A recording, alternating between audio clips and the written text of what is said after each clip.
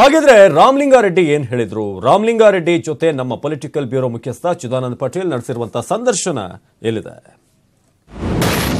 ಮೈತ್ರಿ ಸರ್ಕಾರದಲ್ಲಿ ಪದೇ ಪದೇ ಸಚಿವ ಸಂಪುಟ ವಿಸ್ತರಣೆ ಮುಂದೂಡ್ತಿರುವಂಥದ್ದು.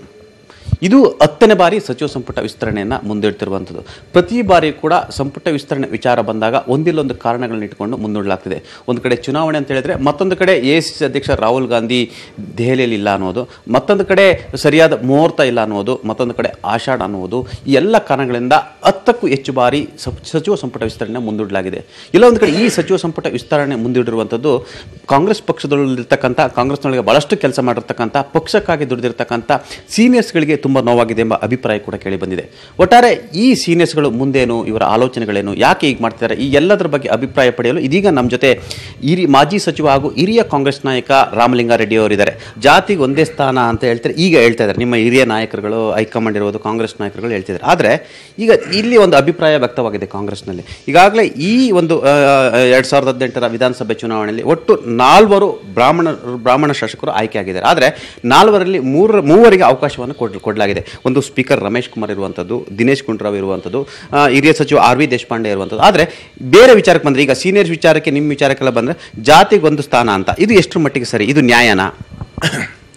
ಈಗ ಮಂತ್ರಿ ಸ್ಥಾನ ಅನ್ನೋದು ಜಾತಿ ಮೇಲೆ ಪರಿಗಣನೆ ಮಾಡಬಾರ್ದು ಅಂತ ನನ್ನ ಇದು ಮೊದಲಿಂದಲೂ ಕೂಡ ಯಾರ ಪಕ್ಷಕ್ಕೆ ದುಡಿದಿದ್ದಾರೆ ಸೀನಿಯಾರಿಟಿ ಇದೆ, ಇದನ್ನು ಪರಿಗಣಿಸಬೇಕು. ಮತ್ತು ಜಾತಿ ಮೇಲೆ ಒಂದು ಅಂತ ಹೇಳೋದು, ಈಗ ಬ್ರಾಹ್ಮಣರು ನಾಲ್ಕು ಜನ ಶಾಸಕರಿದ್ದಾರೆ. ರಮೇಶ್ ಕುಮಾರ್ ಸ್ಪೀಕರ್ ಆಗಿದ್ದಾರೆ ದಿನೇಶ್ ಗುಂಡ್ರಾವ್ ಅಧ್ಯಕ್ಷರಾಗಿದ್ದಾರೆ, ದೇಶಪಾಂಡೆ ಅವರು ಮಿನಿಸ್ಟರ್ ಆಗಿದ್ದಾರೆ. ಇವರೆಲ್ಲ ಆಗಬೇಕು, ಇವರಿಗೆಲ್ಲ ಅರ್ಹತೆ ಇದೆ, ನಾವು ಬೇಡ ಅಂತ ಹೇಳೋದಿಲ್ಲ. ಆದರೆ ಇದೇ ಮಾನದಂಡವನ್ನು ಬೇರೆ ಜಾತಿಯವರಿಗೂ ಕೂಡ ಕನ್ಸಿಡರ್ ಮಾಡಬೇಕು.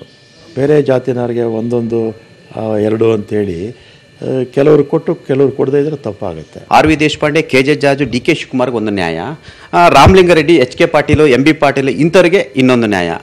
ಇದು ಎಷ್ಟು ಮಟ್ಟಿಗೆ ಸರಿ? ಇದನ್ನು ನೋಡ್ತಾ ಇದ್ರೆ ಸೀನಿಯರ್ಸ್ ಮೂಲೆ ಗುಂಪು ಮಾಡಿರೋದು ಸತ್ಯ ಅಲ್ವಾ?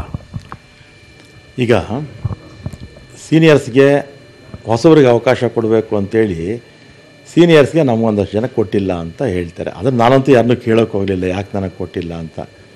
ಆದರೆ ಕೆಲವ್ರನ್ನ ಬಿಟ್ಟು ಕೆಲವ್ರನ್ನ ತಗೊಂಡಿದ್ದು ಸರಿ ಅಂತ ಅನ್ಸೋದಿಲ್ಲ ಅಂತ ಎಲ್ಲರ ಅಭಿಪ್ರಾಯ, ನನ್ನ ಅಭಿಪ್ರಾಯ ಕೂಡ ಅದೇ. ಈಗ ದೇಶಪಾಂಡೆ ಅವರು, ಜಾರ್ಜ್ ಅವರು ಡಿ ಕೆ ಶಿವಕುಮಾರ್ ಅವರು ಅವರು ಹಲವಾರು ಬಾರಿ ಸಚಿವರಾಗಿದ್ದರು ಆದರೆ ಅವರೆಲ್ಲ ಅರ್ಹತೆ ಇದೆ. ಅವರೆಲ್ಲ ಕೂಡ ಸಚಿವರಾಗಿರಬೇಕು. ಈಗ ಅವರಷ್ಟೇ ಅವ್ರಿಗಿಂತಲೂ ಹೆಚ್ಚು ಅರ್ಹತೆ ಇರ್ತಕ್ಕಂಥವ್ರು ಈಗ ಸೀನಿಯರ್ಸ್ ಇದ್ದಾರೆ. ಈಗ ಎಚ್ ಕೆ ಪಾಟೀಲ್ಗೆ ಅರ್ಹತೆ ಇಲ್ವಾ? ರಾಮಲಿಂಗಾರೆಡ್ಡಿ ಅವರಿಗೆ ಅರ್ಹತೆ ಇಲ್ವಾ? ಎಂ ಬಿ ಪಾಟೀಲ್ ರವರಿಗೆ ಅರ್ಹತೆ ಇಲ್ವಾ? ಯಾಕೆ? ಅಂದರೆ ಡಿ ಕೆ ಶಿವಕುಮಾರ್ ಆ್ಯಂಡ್ ಟೀಮ್ಗೆ ಅವ್ರ ಕಡೆಯವ್ರಿಗೆ ಈಗ ಒಂದು ನ್ಯಾಯ. ನಿಮಗೆ ಯಾಕೆ ಇನ್ನೊಂದು ನ್ಯಾಯ? ಇದು ತಾರತಮ್ಯ ಅಲ್ವಾ? ಈಗ ಅವ್ರಿಗೊಂದು ನ್ಯಾಯ ನಮಗೊಂದು ನ್ಯಾಯ ಸರಿ ಇಲ್ಲ ಇದು. ಅಲ್ವಾ? ಮಾಡಿದ್ರೆ ಎಲ್ಲ ಸೀನಿಯರ್ಸ್ಗೂ ಮಾಡಬೇಕು.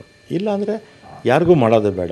ಇದೇನಾಗೋಯ್ತು ಒಂಥರ ಪಿಕ್ ಆ್ಯಂಡ್ ಚೂಸ್ ಆಗೋಯ್ತು. ಈಗ ನಿಮ್ಮ ರಕ್ಷಣೆಯನ್ನು ನೀವೇ ಮಾಡ್ಕೋಬೇಕು. ಈಗ ನಿಮಗೆ ಯಾರೂ ರಕ್ಷಣೆ ನಿಲ್ಲಲ್ಲ ಯಾಕಂತ ಹೇಳಿದ್ರೆ ಈ ಒಂದು ಸಂಪುಟ ವಿಸ್ತರಣೆ ಮುಂದೋಗ್ತಿರೋದು ಸೀನಿಯರ್ಸ್ಗಳ ಕಡೆಗಣನೆ ಸಾಕ್ಷಿ.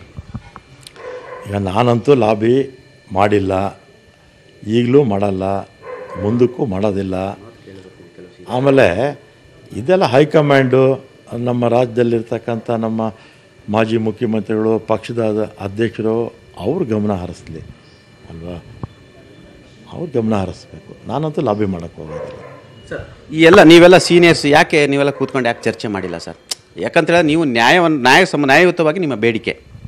ಈಗ ನಾನು ಈ ನಾಲ್ಕು ಬಾರಿ ಸಚಿವನಾಗಿದ್ದೀನಿ. ಯಾವತ್ತೂ ಕೂಡ ಹೋಗಿ ನಾನು ಮಂತ್ರಿ ಮಾಡಿ ಅಂತ ಎಸ್ ಎಂ ಕೃಷ್ಣ ಅವ್ರಿಗಾಗಲಿ ವೀರಪ್ಪ ಮೈಲಿ ಅವ್ರಿಗಾಗಲಿ ಧರ್ಮಸಿಂಗ್ ಅವರಾಗಲಿ ನಾನು ಕೇಳಿರಲಿಲ್ಲ. ಮತ್ತು ಮೊನ್ನೆ ಸಿದ್ದರಾಮಯ್ಯ ಅವ್ರನ್ನೂ ಕೂಡ ಐದು ವರ್ಷಕ್ಕೆ ಮುಂಚೆ ನನ್ನ ಮೇಲೆ ಯಾವುದೋ ಕೇಸ್ ಇದೆ ಅಂತೇಳಿ ತಪ್ಪು ಕಲ್ಪನೆನ ಎಲ್ಲರಲ್ಲೂ ಹೇಳಿದರು. ಅದನ್ನು ಸಿದ್ದರಾಮಯ್ಯ ಅವರಿಗೆ ಕ್ಲಾರಿಫಿಕೇಷನ್ ಮಾಡೋದಕ್ಕೆ ನಾನು ದೆಹಲಿಗೆ ಹೋಗಿದ್ದೆ. ಅಷ್ಟು ಬಿಟ್ಟರೆ ನಾನು ಯಾವತ್ತೂ ಕೂಡ ಲಾಬಿ ಮಾಡಿಲ್ಲ. ಈಗಲೂ ಮಾಡೋಕ್ಕೆ ಹೋಗೋದಿಲ್ಲ. ಆದರೆ ಆಗಲಿ ಹೋದರೆ ಹೋಗಲಿ. ಒಟ್ಟಾರೆ ಆದರೆ ಸಂತೋಷ. ಆಗದೇ ಇದ್ದರೆ ಇನ್ನೂ ಹೆಚ್ಚಿನ ಸಂತೋಷ. ಸರ್ ಒಟ್ಟಾರೆ ಸೀನಿಯರ್ಸ್ ಕಡೆಗಣಿರೋ ಕಡೆಗಣಿಸಿರೋದಂತೂ ನಿಜ. ನನ್ನ ಮನಸ್ಸಿಗೆ ಹಾಗೆ ಅನಿಸುತ್ತೆ. ಇವಿಷ್ಟು ಹಿರಿಯ ನಾಯಕ ರಾಮಲಿಂಗಾರೆಡ್ಡಿಯವರ ಅಭಿಪ್ರಾಯ. ಕ್ಯಾಮ್ರಾ ಪರ್ಸನ್ ಸಂದೀಪ್ ಜೊತೆ ಚಿದಾನಂದ್ ಪಟೇಲ್, ನ್ಯೂಸ್ ಏಟಿನ್ ಕನ್ನಡ, ಬೆಂಗಳೂರು.